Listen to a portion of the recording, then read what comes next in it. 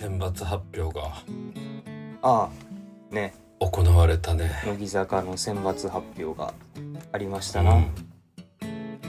そうこれはちょっと順番に見ていこう。見ていこうというか。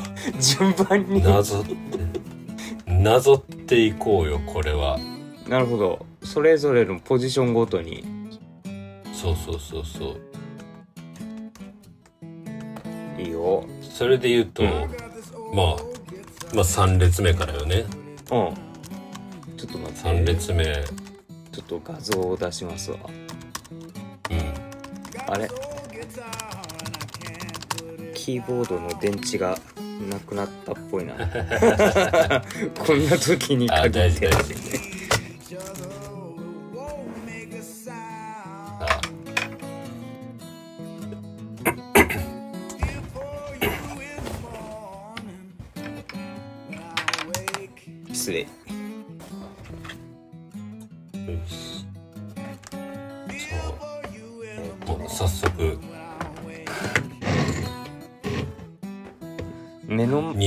目の前に PC があるのにそのさらに手前に iPad を出すっていう虚しさ。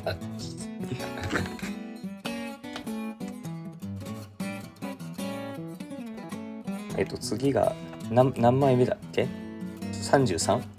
33 33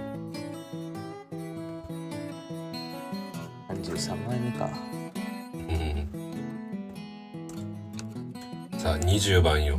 まず。あれ ?33? 来ましたね。あ33だ。うんそうですね、はい。来たね。伊藤リリアさんいがやー来ましたね。シン10作ぶり。えーっとシングアウトぶりかな？そうそうそうあー。もうだいぶ前だよね。そううん。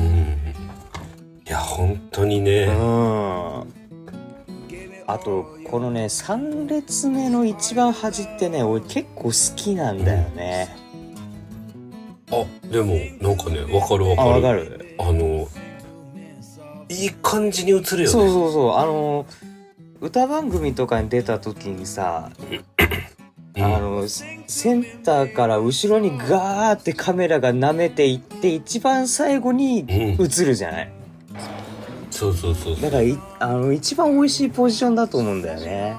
うん。だからここでさあのリリアの得意技決め顔がさやっあの評価されたじゃない、評価され、フィーチャーされたじゃない。だからそこのうまみみたいなのをうん。組んだこのポジションなのかなっていうふうに思ったんだよね。うん、うんそうやな。いやでもこれはね正直僕は嬉しいのよ。というのが僕はやっぱり推しっていうのがおらんから、うんそうだね。だから推し面が入った嬉しいっていう感覚がないわけよ自分で言うと。ああそうだよね。全員ぴったし同じだけ好きやかうら、んだから言ったら誰が入っても嬉しいっていうのがあるからね、うん。じゃあその中で誰が特別嬉しいかって、うん。その差をつけるとしたら、うん。やっぱりそこは友達が推してる子が入ると あ嬉しいってなるわけあなるほど。そうそう。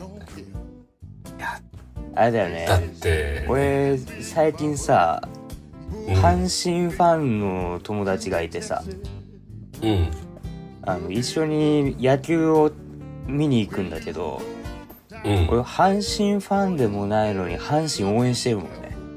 うんうんうん。そういう感じだろうね。そうそうそうそう。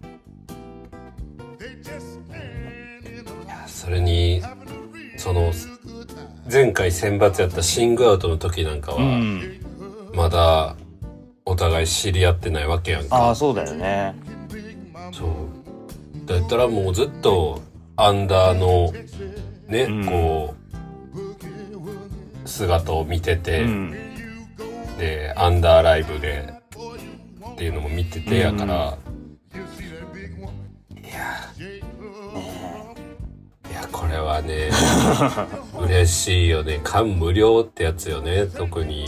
僕でさえこうなんやから。うん、やっぱあのー前回のアンダーライブを見てからのうん。その次のシングルで選抜に入るっていうのがねなんかちゃんとい一歩一歩ものにしてってんなっていう感じがあってね。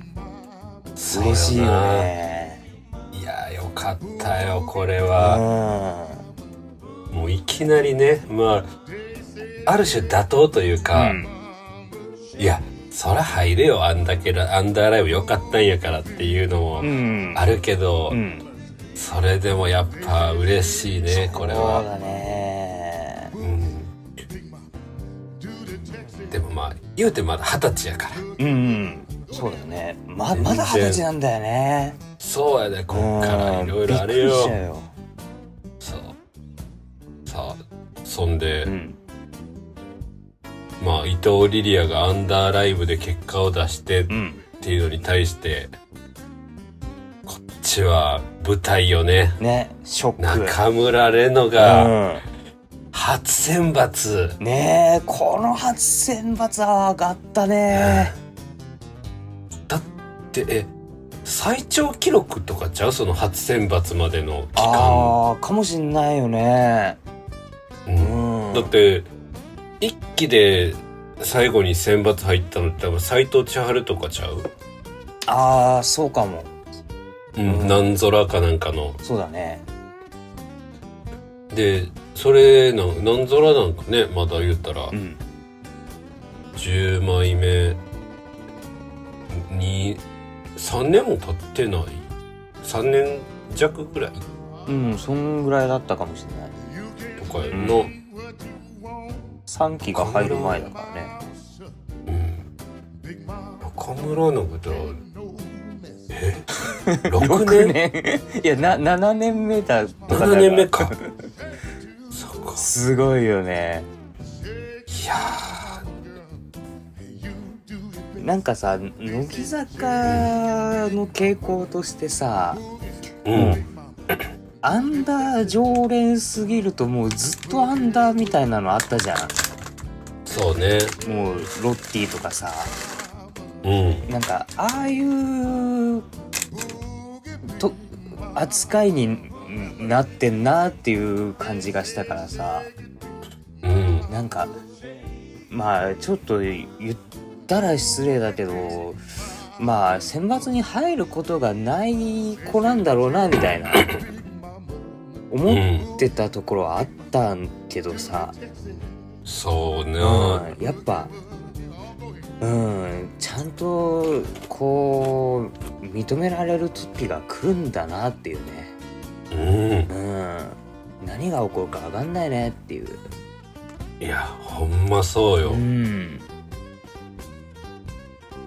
やでもまあこれもめでたいしで、うん。3列目のこの新芽で、うん。言ったら3期の歌うま2人がうん。おるっていうのはいいよこれは。ねでもなんかビジュアル的にもよ、えうん。2人とも女の子受けがすうんうんるうん。そうだね。ビジュアルやんかなんか、うん。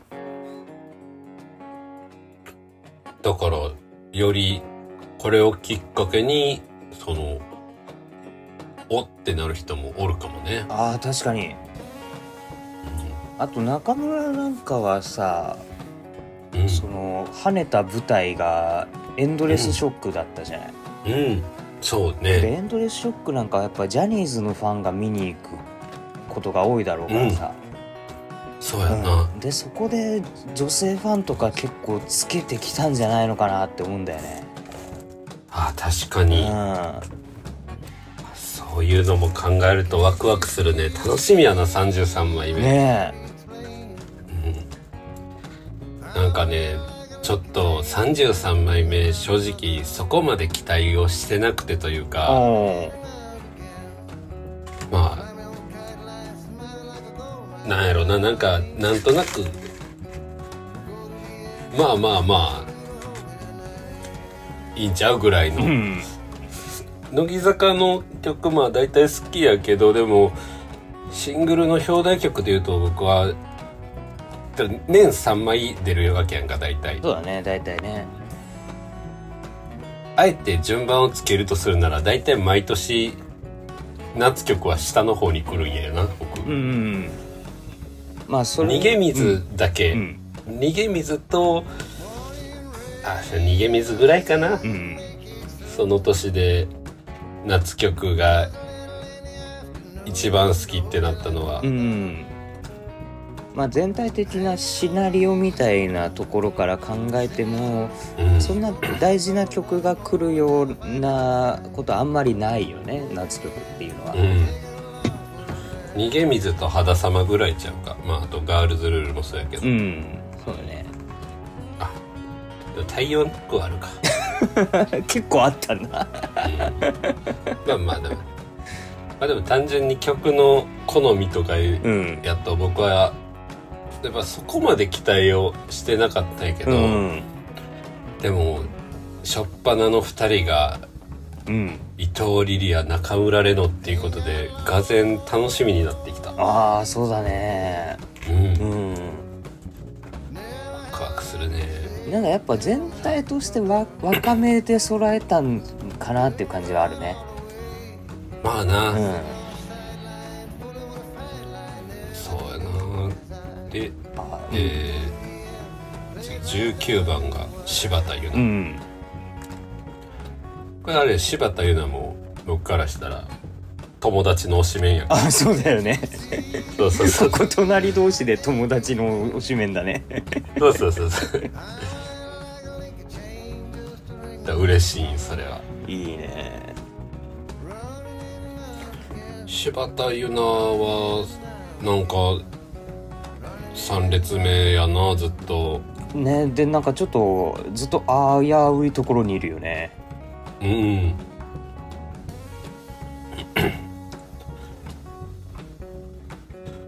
そうやねんななんか、うん。若いけどでもあれか伊藤リリアと同い年？リリアと同い年。やんな、うん。なんか伊藤リリアまだ若いなって思うけど柴田はなんか、うん。あもうそんなかって感じちゃうな。なんかやっぱキャラクターじゃない？確かに、んまあで歴もあるか。あ あそうだね。3期と4期だからね。うん。7年目でまだ二十歳かよっていうのがな。それはあるね。うん。とかで柴田は顔もね。うんちょっと大人っぽいからね。顔大人っぽいけど中身子供っぽいっていうかなんか、うん。その感じがあるから、うん。ああそうかってなるそうね。ままだ二十歳なんだって感じがあるな。うん複雑な気持ちになるな,、うん。これもうすごいだ3人目までこう出てて、うん。歌うまが続くわけやけど。ああ確かに。そうだね。そう言われれば。こんな柴田の新芽がうん。筒井あやめうんここはまあ筒井3期3期で2期ああ4期4期できたね。うん。あのー最年少でうん。アンダーになってないのが筒井だけっていう、あー確かに。アスカちゃんでミリアでうん。岩本で。うん。そうだ。で小川もアンダーやったしね。ああそうだねでなんなら筒井は夜明けでフロントから抜擢されてたもんな。まあな、うん。そうね幸せの保護色の時に選抜には入ってないけど。まああれはあの時アンダーがないから、うん。うん。まああれで選抜入っててもおかしいしな。まあな あれは農家でしょ。あそこに入った3期4期がやっぱすごいというか4期に関しては遠藤と柿だけやし、そうだね。うん。まあ、すごく意味のある選抜やってるな、うん。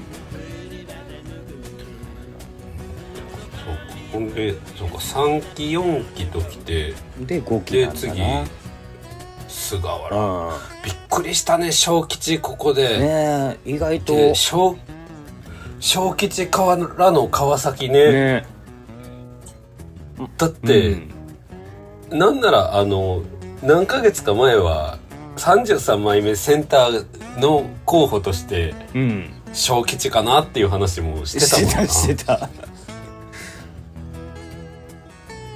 まさか3列目とはね。ねびっくりしたね。しかも3列目の右このそれぞれ端から3番え、う目ん、一番埋もれるところだからね。うん、いやびっくりしたなこれは、うん。これ一番衝撃的やったかもしれん。そうね。まあ前が厚すぎるっていうのはあるけどね。うん。まあうな、んだってなんていうのかなその目立ったミスとかもないわけやんか2人。まあまあまあ。なんなら結構しっかりめに活躍した2人やうし、ん。で一応見繰りの完売表とかも確認したけど、そんなになんつうのあれなわけじゃないのよ。3時までには3時4時までには多分2人とも全部完売してたとかうん。やし、うん。だからこの辺はなんかもしかしたらその一回生田星野がうん。おいしゃんで3列目に行ったみたいな。あそういうのはなんか関係あんのかなってちょっと思ったりもしたけど。あまああとは楽曲出た時に納得がいくかもしれないよね。まあね、うん。曲調というか、うん。その感じ的に。いやでも意外やったなこの2人でも3列目は。5期で考えるとさ2列目が伊予木と一ノ瀬なんだよな。そうやな。なんかそれがすごいうん言っちゃなんだがこれまんま2列目と3列目の5期逆でもよかったんじゃないって感じはするけどね。うん。だからやっぱりあの2人が飛び抜けてよまあもちろん2人ともすごい頑張ってるし一ノ瀬なんかはね、うん。タイムうのん。梅沢の後に入ってやからうん。すごいやけどでもやっぱりイメージとしてはその3列目の2人の方が福神入り、うん。しそうな感じするね。で実際前作なんかはそうやったわけやしな、うん。小吉なんかは5期のセンターもやってるしな。うん。いや川崎もよ。そうそうそう川崎も。そう2人つ二人続けてやってるし、うん。バンドエイドなんか1000万回再生よ。そうだよね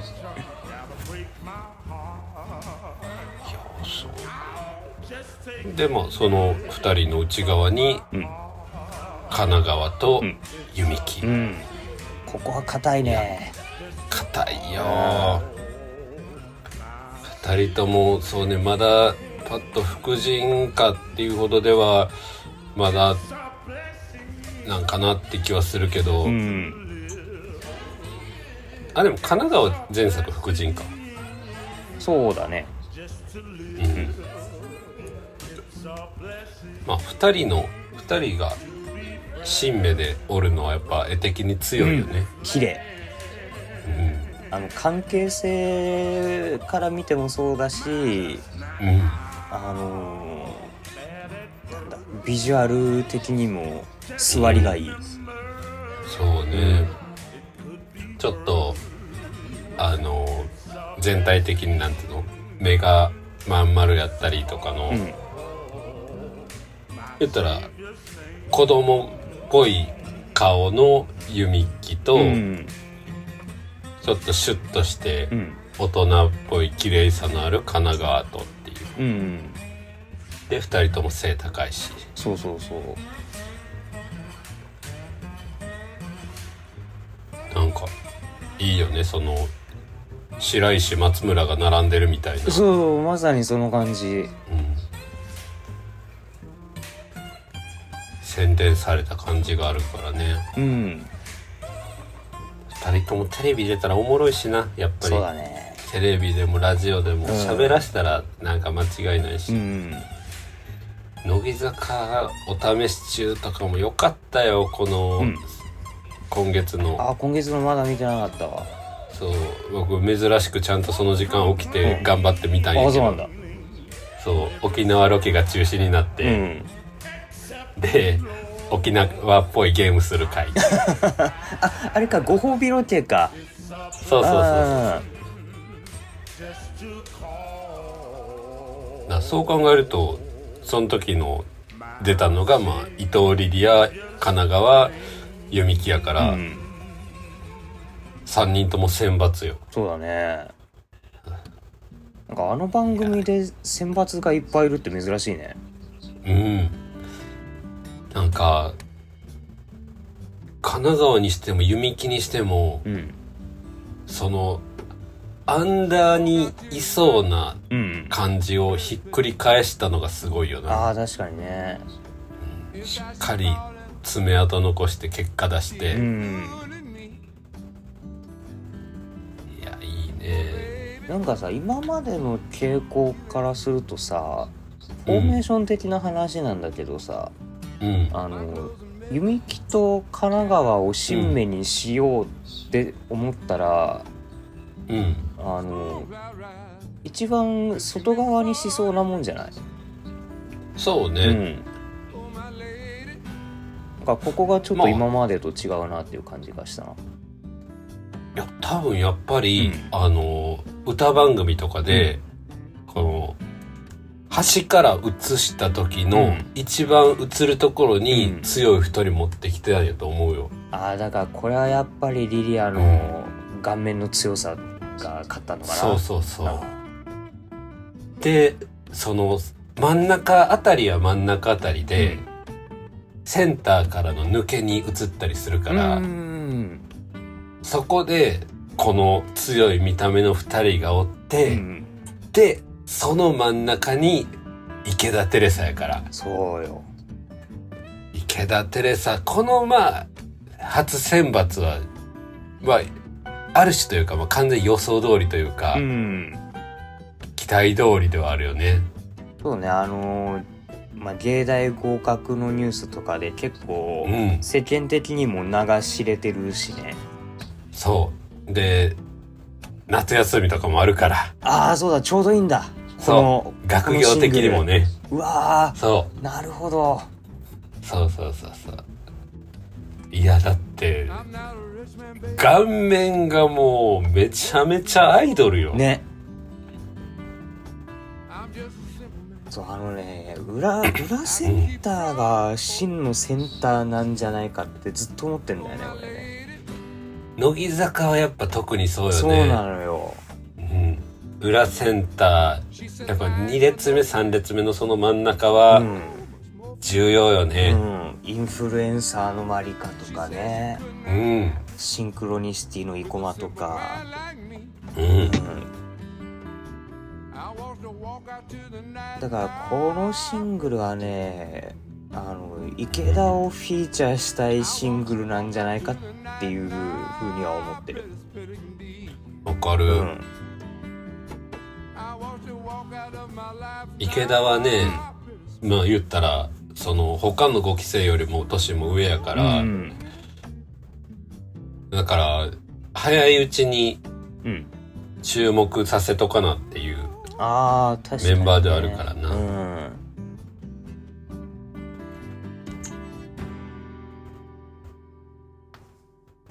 あと芸術方向で忙しくなっちゃうと、すぐ卒業しちゃうかもしんないからうん。アイドル業をなるべく忙しくさせたいみたいなのはあるかもしれない。ねかもな、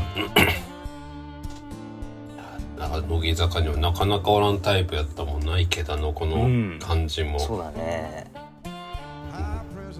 ブログ読んだ？池田のいつも。あの選抜発表後のブログ。ああ見てないや。いやすっごいよかったよ。なんか、うこの場所を誰にも渡したくないって書いてあって。へえ熱いね。そう。いやこれを言える子がいるのはいいよなその、うんそう古くは井上さゆりのうん。ねあの感じとかもそうやし、うん。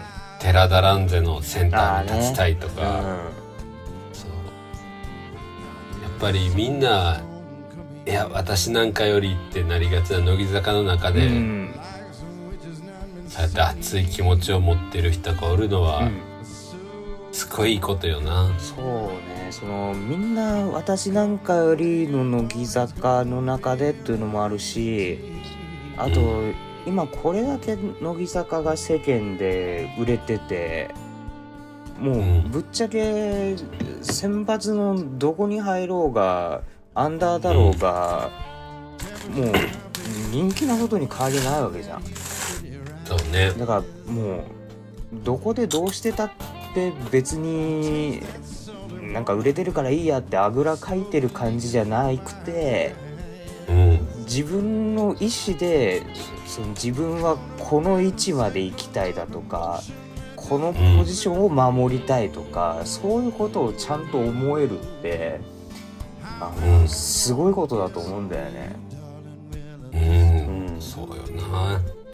もう普通だったらもう乃木坂に入ったらゴールなんだもん。いやほんまにそうよな、うん、でもそれをゴールとせずにちゃんと乃木坂に入ったところをスタート地点としてそこから自分がどうしたいかを考えられるっていうのはだからそういう人間かどうかも採用する時に見極めてるんだろうね。うん、うん。そうやな。だってそういう子ばっかりだよ乃木坂って。うん確かに、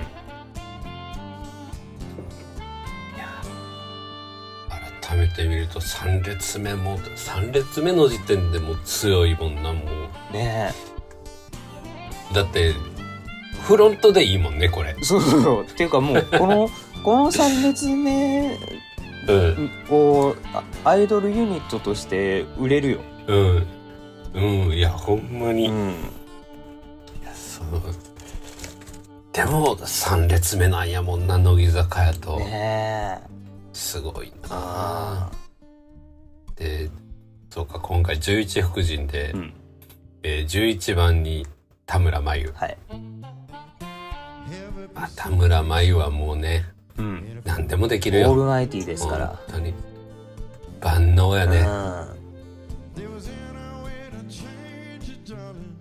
あの配すごいよな配信中のよかったね。よかったあの田植えねのやつ。うん最高やったねねえなんか乃木坂が詰まってたね。あの一本にね。よかったなあれコミュ力のある田村がおってうん。めっちゃ人見知りの牡蠣がおってっていう 人見知りなんだけど、うん天真爛漫なうん魅力を振りまく牡蠣っていうところがね。ね子供なんやなああ、そうだね。やっぱり詰まるとこそうだね。うんすごいなあんまりないよいい意味だけで子供ってそうだね。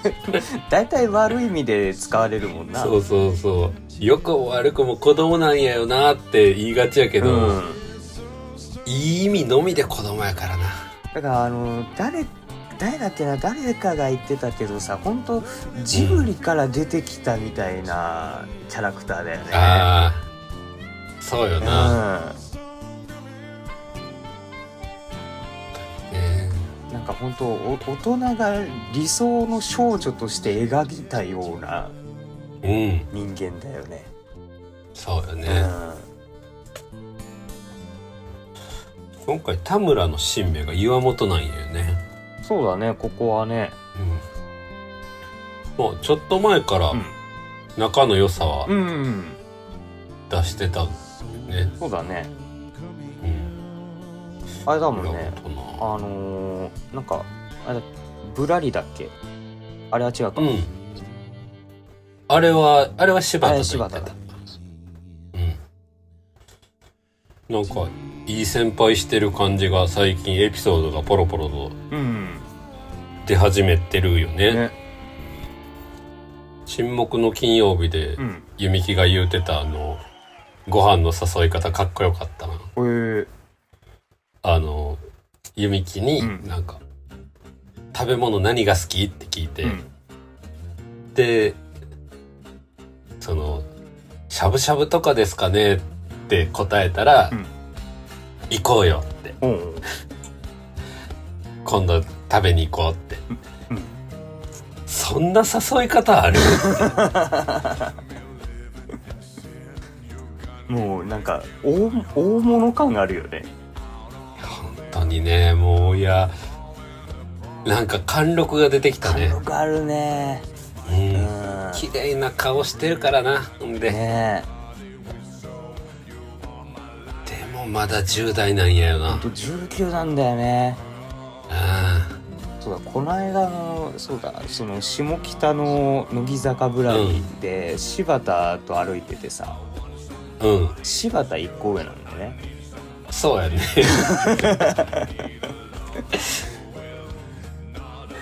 いや見えへんな。ねえなんか柴田もさっき大人っぽいっていう話してたけどその上を行くよね。うん。もっと大人っぽいよね。ななんだけどちゃんとちゃんと楽器だしね。あうん。そういうなんかん子供っぽさのチャーミングさみたいなところをちゃんと持ったまま大人っぽいからなんか不思議な魅力があるよね。うんだしあの人ったらしの才能もあるし。うん。うん。ねなんか岩本が今後バンバン白石みたいになっていったとしても何にも驚かんな。うんね。なんかその雰囲気はあるしね。うん。そのなんか顔面のうん。作りをうん。専門家が分析したっていうのをこう、ね、白石がの写真集がめっちゃ売れてる時にうん。やってたんやけど、うん。その顔のパーツごとうに、ん。子供っぽいパーツと大人っぽいパーツが、うん。このいいバランスうでん。組み合わさってて、それがすごく親しみやすさとかにつながってるっていう話をしてたんや。なるほどね。全部が大人っぽすぎても子供っぽすぎてもダメなんだ。うん。ただの童顔でもなうい、ん。で綺麗な顔ってわけでもなくうん。綺麗さと可愛さが。だからあのどっちの好みの人も好きになるからファンの母数も増えるわけだ。うん。大人っぽいのが好きな人もちょっと幼いのが好きな人もうん。好きな顔なわけだ。うん。多分岩本もそんな感じするよねなんか。うんする。特にあの最新の潜在写真そんな感じちゃう、ん。なんか白石っぽいよそうそう。あとなんかね。たまにほんとマイアンに見える時あるもん。うん。ふとした瞬間に。のう。ん。綺麗な顔してるわほんまに、ねであほんであれか。あの5期生2人が新芽で、意外や意外。ここ意外だったね。っていうのもあるけど。ねえなんならあの3列目で出てけえへんかったから、うん。選抜外れたかと思ったうもんな、ん。ここ2人は常連になってくのかね。なるやろうね。うん前回も入ってるしね。うん、で多分今後もっとその番組出る機会も増えるやろうから、うん。多分そうなるとよりうん一ノ瀬なんかは特にやけど、うん。注目されると思うよ。そうね。面白いもん。うん。なんか他のいろんな地上波の歌番組とかでうん。あのやばいキャラを披露したらウケそうだよな。うん。バズリズムとか出てほしい。バズリズムね出てほしいね。っていうかもうなんか目に浮かぶもん、バズリズムは、うん。小川が選抜で入って、二人が揃ってる時うに、ん。ぜひともバカリズムに見つけてもらいたい、ああそうだね。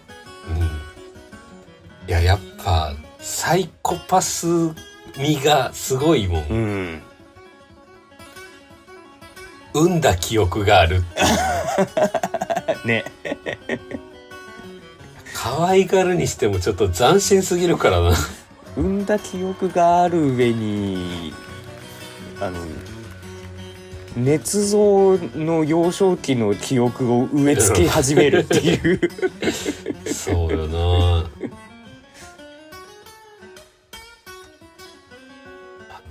あと何気に伊予木もうん。最近しっかりと何？番組で結果を残してる感がある、うんそうだね。やっぱ関西弁はおると強いんかな。あーそれはあるね。ううん。んあといい。久しぶりの関西人やしね。そうだね。5期で唯一だっけ？うん、うん。あと伊予木は伊予木で結構やべえやつだしねうん。ええっていうかちょっと待って、うん。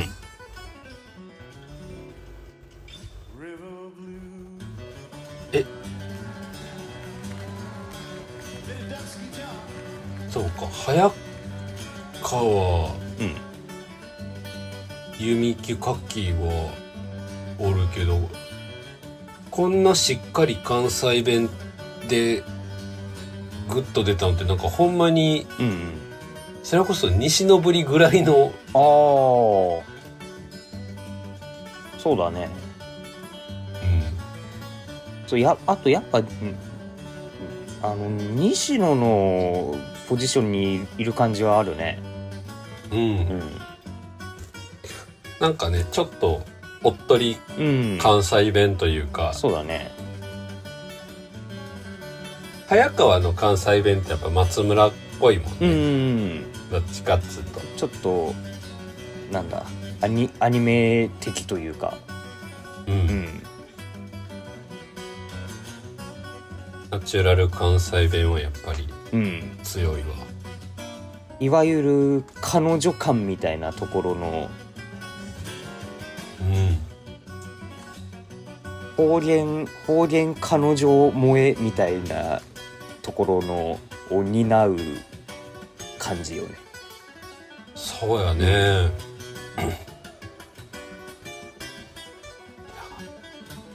かほんで真ん中は、うん。えー乃木坂の最大と最小。最大と最小。ここ面白いよね。うん。でもヨダがまだここにいるっていうのすごくない、うんそうね、うん、結構人気長いよ。うん。ヨダが一列目じゃなくていいっていう。うんうん。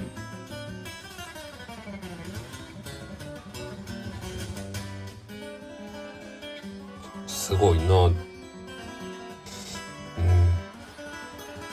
でももうなんかもはや世間の感覚は分からんけどもしかしたら世間で言ったら結構人気なのかな？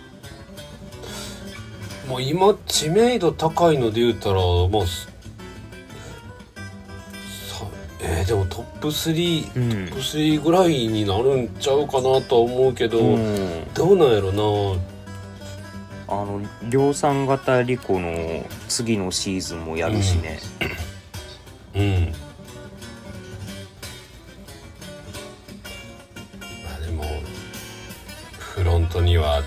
天下のうん。朝ドラ女優様と 大河女優様がおるから。ここはここはね。NHK の。すごいよな久保が5番か。うん。右端。まあ久保久保山下はここでしょう。ん。というかその前回のううん二度見で、まあ、ダブルセンターやってから、うん。今後やっぱここの2人の新芽は増えていくんやろね、まあもうん。うもうかつての孤独兄弟みたいな感じになってるんじゃない？うん。なんかやっぱそんな感じがするよ、うん。本当に。助さん格さんポジションで。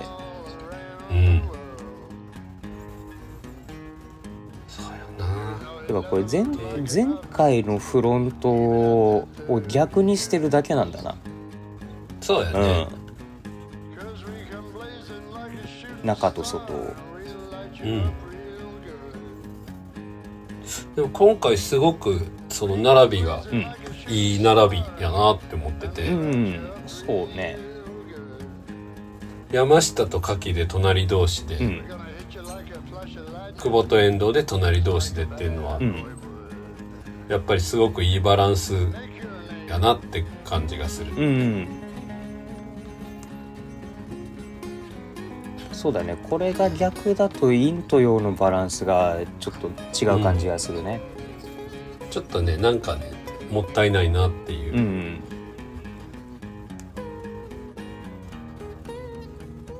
ねほんでまあセンター井上凪、うん。まあここは来るでしょうっていう感じだったな。うん。うん。ね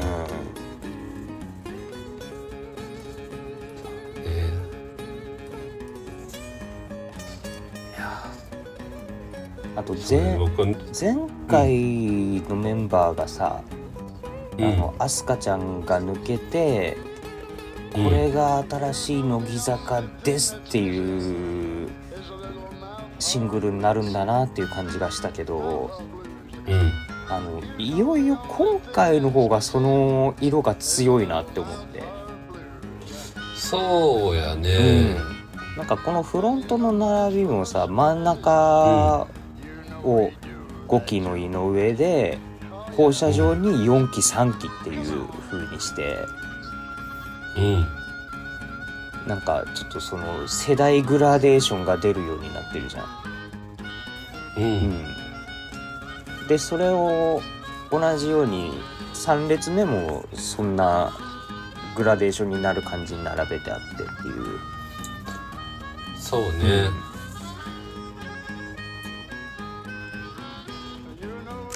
なんかよほんとすごい綺麗だよねこのフォーメーション。めちゃめちゃいい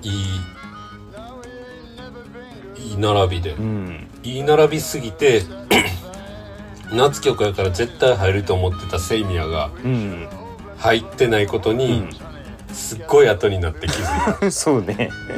違和感を感じないよね。うん。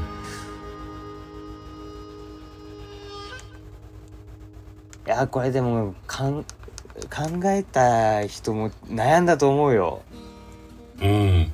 セイミヤ入れたいけどこれこのどこにぶち込むねんっていう。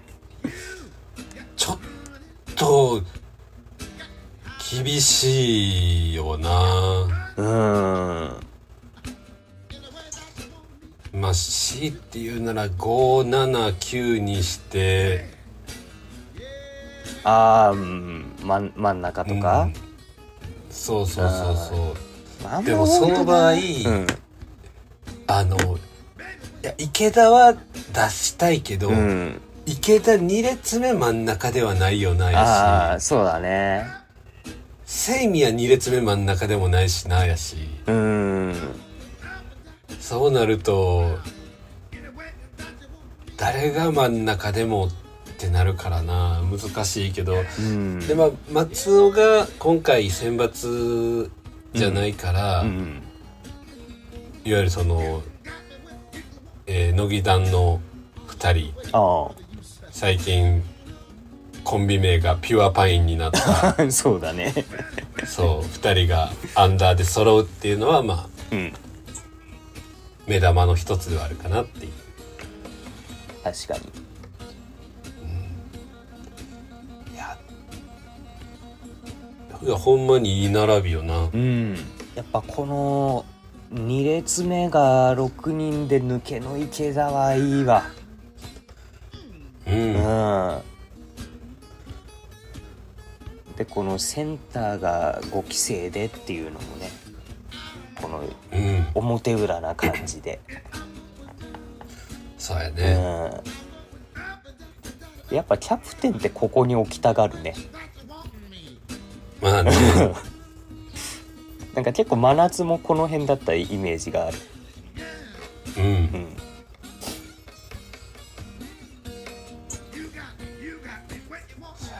いやー楽しみやね。で僕はその最最近というかまあ常々思ってるんやけど、うん。やっぱ乃木坂のセンターってすごくうん特別感があるというかうんそうだね。果たして本当の単独センターはどれだけおるんやろうっていう。うんこれを考えた時にうん極端におらんのよな。いないよね。そう。なんか他のアイドルグループだとさうん。桜坂とか日向坂もそうなんだけどうん。あのちょっと試しに次センターやらしてみよっかなノリがあんのよね。うん。うん。なんか今回の日向だとニブちゃんとかね。うん。でも乃木坂って絶対それやんないんだよね。そうやうな、ん AKB とかでも結構あれ急にそいつ行くみたいな。うん。あるんだけどでしかもあの僕のこれ勝手な理論で、うん。いやいやそんなバカなことを言うなっていうこともね、うん。思う人もおるとは思うんやけど、うん。僕はそう言ったら立ち位置で言うとそれはもう単独センターっていううん。ことになってるけど、うん。そうじゃないと思うメンバーが結構おって、僕の理論では、うん。白石麻衣はセンターではないのよ。ほというのも、うん。これ博士には前も言ったことある気がするけど、初センターガールズルールやけど、うん。あれは御三家の3人でセンターやと思ってる。ああそういうことね。そう。うん。夜明けと同じ理論ね。そうそうそうそう。確かにだからあのあの時の夏の全国ツアーもうん。3人での煽りとかでやってたりしたから、うんうんあったね。そうそう。だからあれはガールズルールはあの3人のセンター曲なんやろなっていう。うんうんうんでえー、あと生田。うん。生田絵梨花も僕の理論ではセンターではないのよ。ほうほあれはなんでかっていうと、うん何度目の青空かは、うん。どこにポイントがあるかって言ったらやっぱり生駒なんやよ。ううん。裏センター生駒、うん。で3列目に星野がおって、うん。そう。縦で生きる星野がってるってねいう。であれあのこのいろんなフォーメーション移動あるやんか、うん。で最後の方で、うん全員がこう一列というかちょっと山なりみたいな感じになって、うん。並んで歌うところ、うん。あそこなぜか、うん。あの生田生駒星野の並びで横に並ぶんや。これは完全に意識しているというか確かに休業明けの生田っていうのでセンターというか0番の位置に立ってるけど、うん。あれは言ったら生井星のセンター曲というか。あだからあれは3人のうん。センター曲なんや、あそうね。そう。だからあの縦いくい星はもうまんまそうだもんね。うん。あれは震えたよ、うんでそっから進んでいってで、まあ、ダブルセンターの、まあ、当然単独センターじゃないわけやけど、うん。で卒業センターも僕の中では、うん。これはセンターにはカウントしてない。ああまああのが、まあ楽曲のためのっていうかその人を送り出すためのっていう側面が強いからね。そうそうそ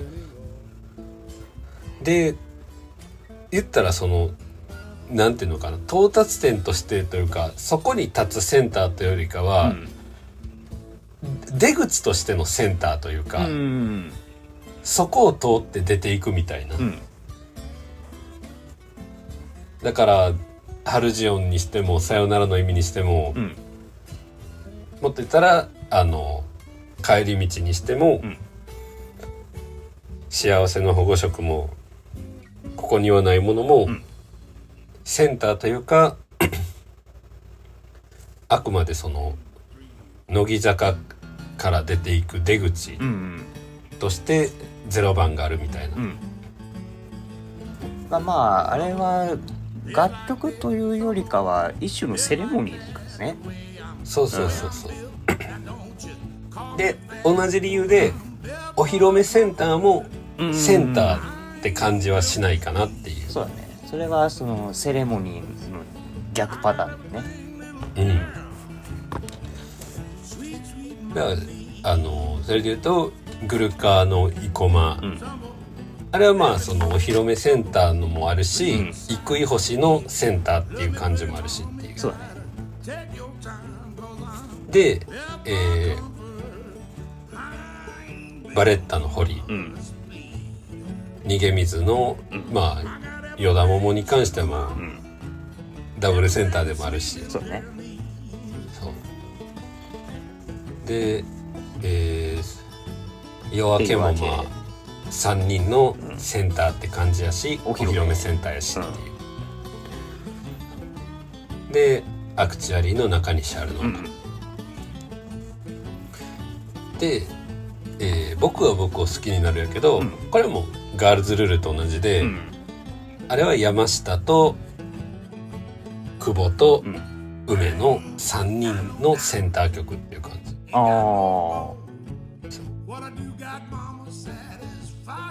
これはもう僕はずっと言ってるけどあの3人がもういわゆる新御三家やと思ってるから、うんうんうんでガルルと同じだね。そうそうそうそう。あの御三家の持ってる要素とか特徴属性とかをん。組み替えたら新御三家になると思ってるから。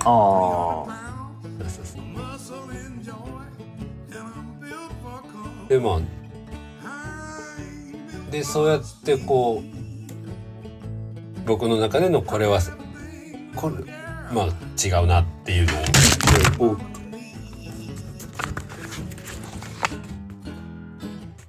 違うなっていうのがいろいろあって、であとはあれよ。シンクロニシティなんかは、うん。それこそ0番は白石やけど、ん。あれのセンターは あれのセンターは生生駒駒や。だから。そう。あのえ円の中心っていう意味のセンターだから。そうそうそうそう。まあでそういうのでこうこれは違うこれは違うってので外していった時に、うんじゃあセンターって誰やろうって考えたら、うん。やっぱ生駒まず、まあまあ。のぐるぐるカーテンの、が生井星のセンター曲で、ん。マネキンなんかは同じ並びやけどあれは生駒センターやん。そうだね。文句なつけようもない、うん。希望も同じくやし、うんまあ、そもそもおいしゃんとかバイシクルももうバリバリ生駒やったけど、うん。で、えー次にやっぱ西野。うん。西野七瀬はもうずっとセンターやなって感じ。そうだね。もう象徴と化してたもんね。うん。うん気づいたら片思いもそうやし夏振りもそうやし、うん命は美しいで孤独兄弟二人を横うにん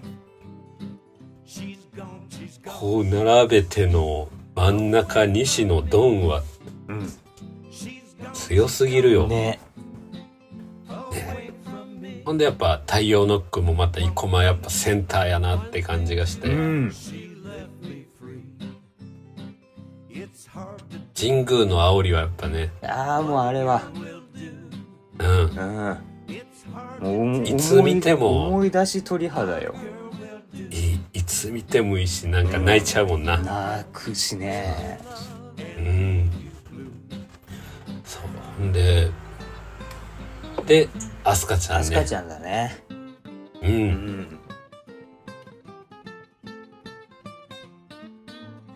でこれが、うん。あの言ったら僕の中でその一期生の線その本本当の本当の意味でって言ったらなんかあれやけど、うん。なんか僕の中ではセンターをより特別なものにそんした時にうん。当てはまるのがこの3人なんやけど、うんこれがまあ言ったら主人公生駒と、うんヒロイン西野と、うんで次世代へつなぐん。存在としてのアスカちゃんみたいな。うんでその僕の理論で言うと、うん。2期3期でその特別なセンターっていうのがうん。おらんくて、うん。で次その4期でセンターにとしてバンと出てくるのが、うん。やっぱ遠藤さくらなんよね。そうねごめんね、フィンガーズクロスト。ああれは、ちょっと、ね、痺れるよね。しびれるねセンターやったね。うんなんかさその今挙げた真のセンターの人たちに共通するところって、うん。あの MV が作品前としすぎてるんだよね。ああ、わかるうん、わ。あのー多分そういう力を持ってる人ってあの、うん映像作家とかクリエイターの火火をつけちゃうんだと思うんだよね。うん。なんかそんな感じがすする。そうような。ん。で、次が、カキよ。うん。君に叱られたわ。なんか、好きやわ、あれ。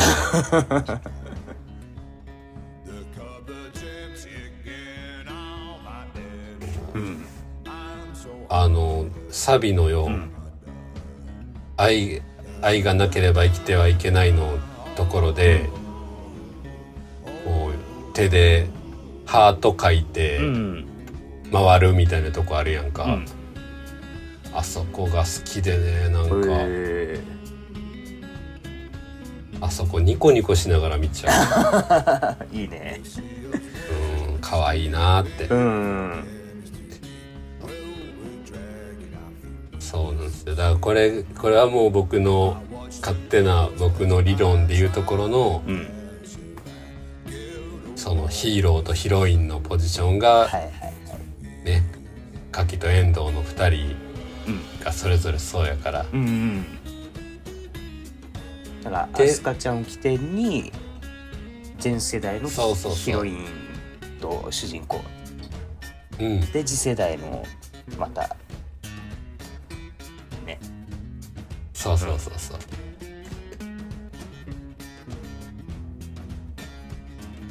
でも、ちゃんと対になってるというか、うんその感じがやっぱ面白いんやよね。うんそうだね。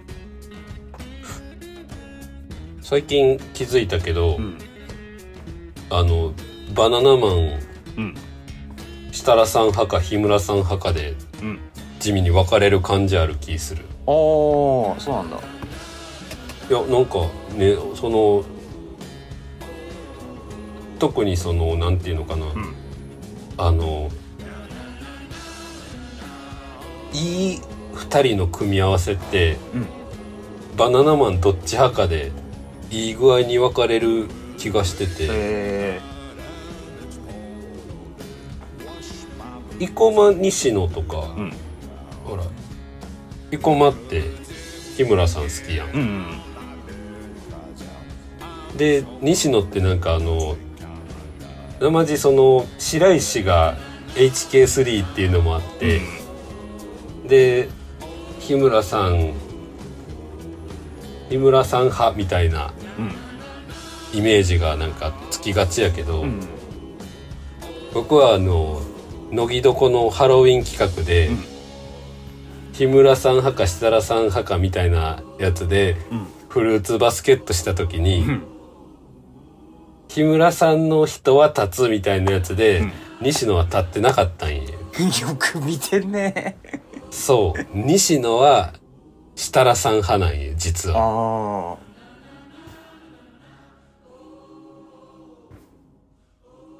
だなんかねそのクレイジージャーニーとかで、あうん。設楽さんまだちょっと怖いってうん言ってた映像も結構有名というか、あそれで設楽さんがちょっと傷ついたりとかあったけど、うん。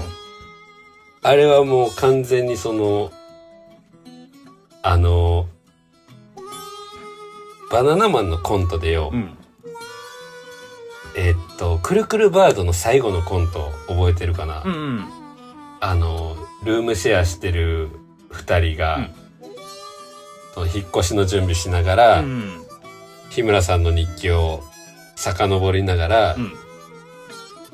なんか、えーっと、好きな人の話とかうんになっていくやつ。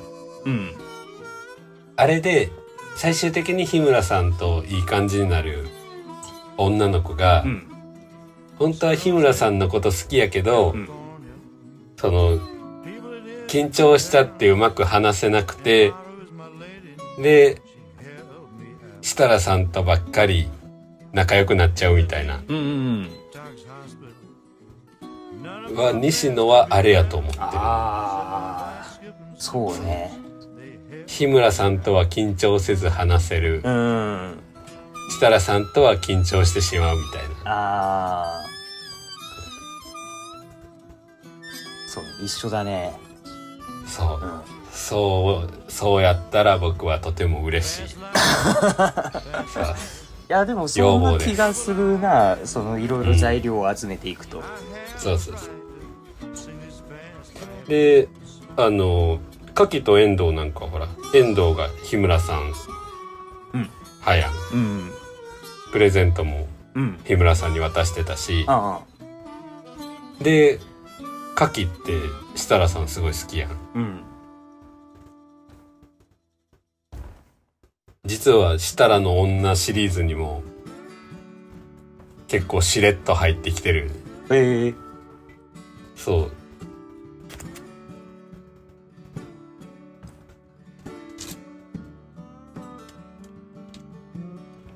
ところでなんかそういう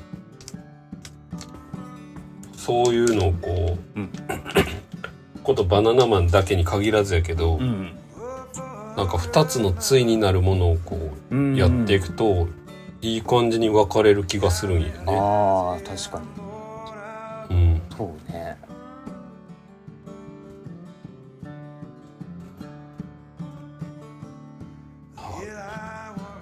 こういう話をしてたらね、うん。無限に話してしまうからね。